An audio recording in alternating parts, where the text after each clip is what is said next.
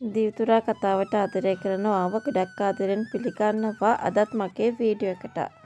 ඉතින් මම අද වීඩියෝ එකෙන් ඔයත් එක්ක කතා කරන්න බලාපොරොත්තුවක් ඇති කරගන්නේ මේ වගේ කාරණාවක් සම්බන්ධවයි. මට අද වීඩියෝ එකෙන් ඔයත් එක්ක කතා කරන්න තිබෙන්නේ හඬා වැටෙමින් ඉන්න සමාධි.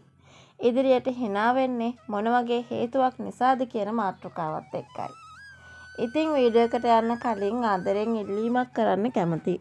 ඒ තමයි වීඩියෝ එක බලලා ඔයාටත් මෙවැනිම වීඩියෝස් දිනපතාම බලන්න කැමැත්තක් ඇති වෙලා තිබෙනවා නම් එහෙනම් අනිවාර්යයෙන්ම මගේ channel එක subscribe කරලා මාත් එක්ක එකතු වෙන්න.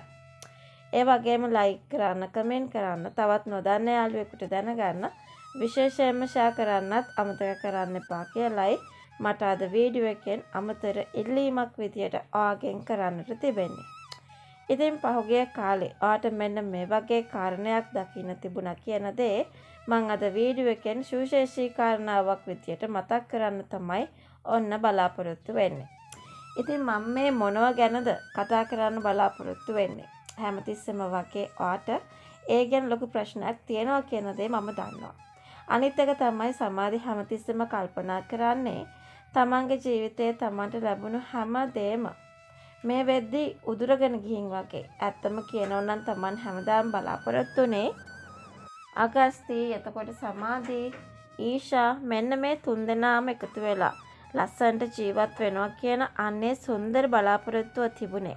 හැබැයි අද වෙනකොට අගස්ත ළඟ හිටියත් තමන්ගේ දෝන් ළඟ නැතුව සමාධි ඉන්න දරාගන්න බැරි තරම් වේදනාවක.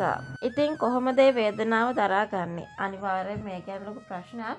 මේ මොහොත වන විට උදා වෙලා තිබෙනවා කියන කාරණය අපිට පෙන්වන්න පුළුවන් කියන දේ තමයි මට අද වීඩියෝ එකෙන් ඔයත් එක්ක සුවිශේෂී කාරණාවක් විදියට මතක් කරන්නට තිබෙන්නේ. ඉතින් කොහොමනත් ඉදිරියේදී අපිට මෙන්න මේ වගේ දෙයක් දකින්න ලැබෙනවා කියන දේ ගැන හොඳ ඉඟියක් ලබා දෙන්න තමයි මම ඊගාවට මේ සූදානමක් ඇති කරගත්තේ කියන දේ ඔයත් එක්ක කතා කරන්න සූදානම්.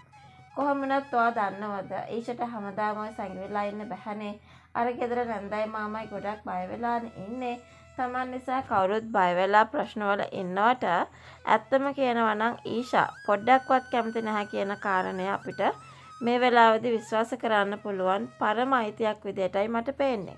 ඉතින් ඒකත් එක්ක ඊෂා ඉදිරියේදී අනිවාර්යයෙන්ම තමන්ගේ ගෙදර ඒ කියන්නේ සීයා අම්මා එක්ක ජීවත් වෙච්ච ගෙදරට එන තීරණය කරනවා. ඉතින් ඒ වගේම සමාධිය ගස්තිත් එනවා නුවරඑලි. ඉතින් ඒ ආවට පස්සේ කොහොමනත් ඉදිරියට අනිවාර්යයෙන්ම මේ කට්ටිය ඒ කියන්නේ මොන්ට මොන මොන ගෑනවා මේ කට්ටිය එකම ගෙදරක ජීවත් වෙනවා.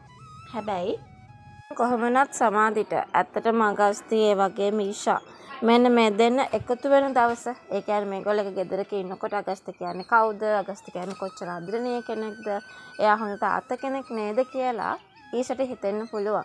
ඉතින් එතකොට තමයි ඇත්තටම සමාධිට ගොඩක් සතුට වෙන්නේ. ඒ කියන්නේ ඊෂා අගස්තර තාත්තා කියන දවසට තමයි ඔය අඬ අඬ හිටපු සමාධි ගොඩක් සතුට වෙන්නේ කියලා අපිට විශ්වාස කරන්න පුළුවන්.